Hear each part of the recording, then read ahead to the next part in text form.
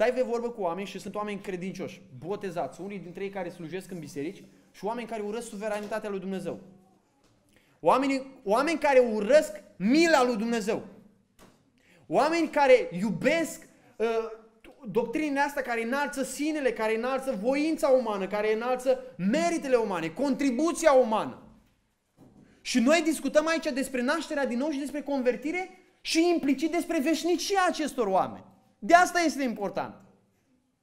Pentru că la mijloc este veșnicia omului, sufletul omului. Când mie un om îmi spune anumite lucruri care arată că el are o aversiune profundă, înrădăcinată în sufletul lui față de suveranitatea lui Dumnezeu, față de stăpânirea, puterea, măreția lui Dumnezeu, față de faptul că toată umanitatea e la mila lui Dumnezeu, e căzută în păcat și condamnat. Când văd că are aversiune față de lucrurile astea, eu îmi pun semne mari de întrebare cu privire la veșnicia acelui om, la starea sufletului acelui om. Nu sunt așa niște lucruri pe care le discutăm când avem ce face și ne plictisim.